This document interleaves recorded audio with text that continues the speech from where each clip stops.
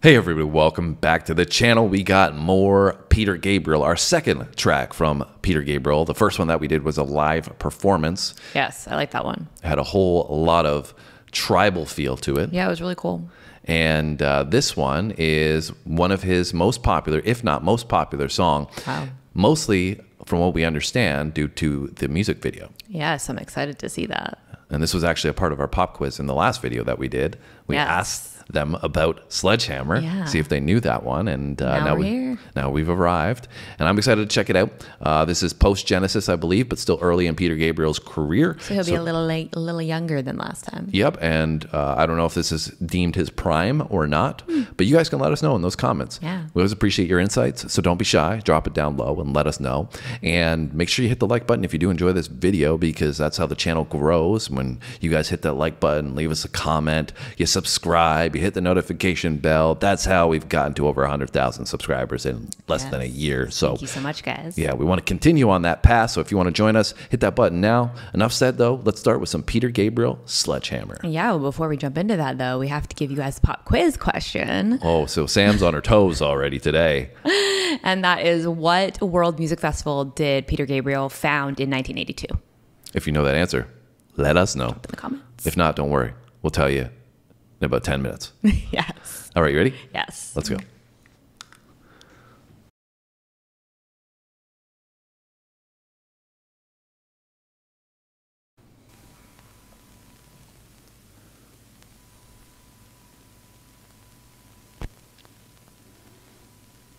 From the album So.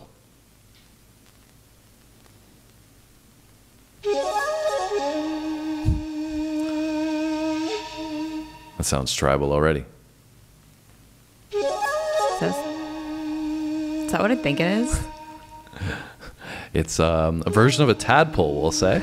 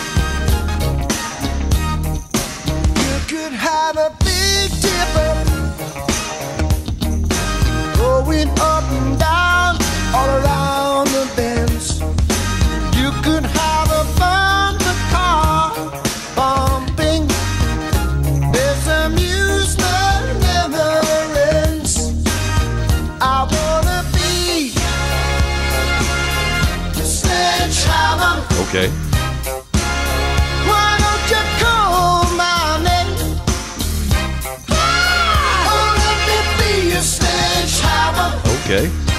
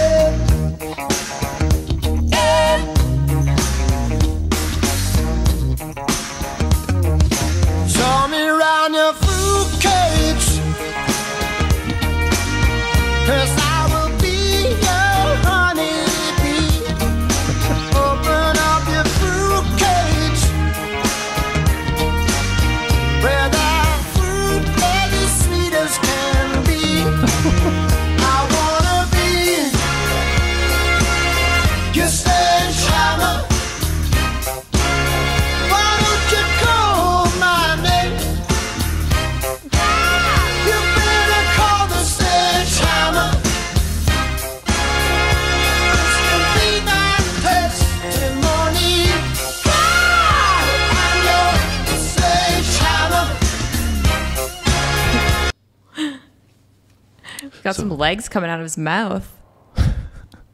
That's a great uh, stop point there. Yeah, with uh, all these little swimmers around the screen. Little swimmers. That's what they're called, eh? Yes. So, um, how do you feel about uh, somebody being a sledgehammer? I mean, this is like a lot going on here. Yeah, Yeah. there's a little bit of sexual in- innuendo in this one. Yeah, but I mean, I almost missed that because the video was just so crazy that I'm like so locked in on what's going on on the screen. It is. It is quite distracting. I mean, there's a lot of effects going on. I can see why this video was acclaimed at the time. Yeah. It's very probably you know just innovative with the technology that they used to construct it. Right. Um, kind of like clay. It looks like clay. I don't know if that's. Um, I think maybe I've heard the term claymation before. Oh, okay. Yeah, yeah. Like animation, both clay. yeah. Interesting. I mean, it's really, really cool for me to see this because they use a lot of stop motion in this, which it's just crazy to see how far that's come because I know like you're not a big TikTok guy, but on TikTok, like stop motion editing is really, really big right now, but with like real life video editing, right? So it's really cool how people can make items like move on their own or like, you know, like kind of like the stop go with the um, facial expressions and stuff like that. But to see it come from like this, Right. from you know so long ago is really cool to see the evolution because I had no idea where that whole editing trend kind of came from. It just came out of nowhere, and I was like, "Oh, this is really cool." revolutionary for its time, right? And uh, yeah, so I mean, clearly that's probably why the music video was was popular, in line with the messaging of the song. Yeah. with those some of those visuals yeah, as like well. the fruit. Yeah, fruit um, cage. the fruit cage, and Yeah. the sweetness within that fruit ca- fruit cage. Yeah, Open it up for me. yeah, and um, the uh, what was the other one? I'll be the honeybee or something Yeah, like that. yeah. And there's quite a few in there, but um, it seems like he's just dropping a bunch of bars in here. It's almost like a, a partial rap song. yeah. I know. Obviously, he's talented though with the singing aspect Yeah. as well. I like the, the groove of the song too. Like it has this kind of like funky but still soulful, like fun, playful kind of vibe. I Yeah, like I, I love it. Um, it's uh, like you said, a great, great vibe overall. Feel good track, Mm-hmm. um, but uh, it's also a little bit comedic too. So I'm really enjoying this one. I can see why it was a banger and why it blew up. yeah, for sure. Me too. You, you want to keep it going and see where these tadpoles are going to fly to Yeah, let's do. And these legs coming out of the mouth. with a little bit of a bush.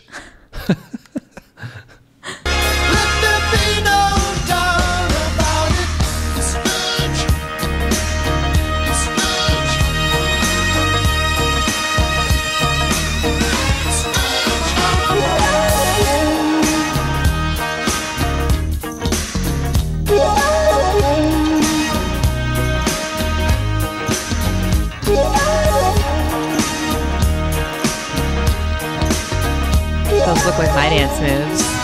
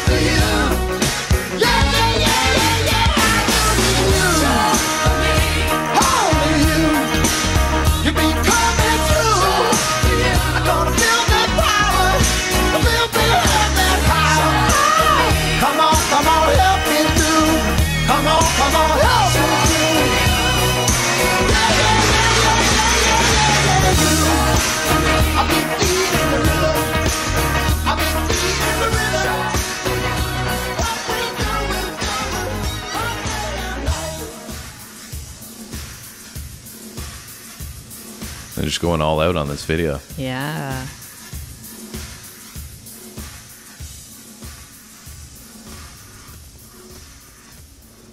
Hmm. I can only imagine how long that took to make. Is that it? We've got just the credits here. Yeah, a lot like of it. credits because it probably took a lot to make that, especially at that time. That's true. So, I mean, uh, we had a little bit of the outro there, a little high energy outro. But uh, they added more to the animation side of things, and uh, it was really cool to see. It was also cool to see Peter, you know, much younger, Younger, yeah. full set of hair. Yeah. Uh, so clearly, this is you know much much earlier than the last one that we watched. Yeah, for and I can't remember when that performance was, but I would reckon then it was probably 25 years difference, something Mm. like that. So.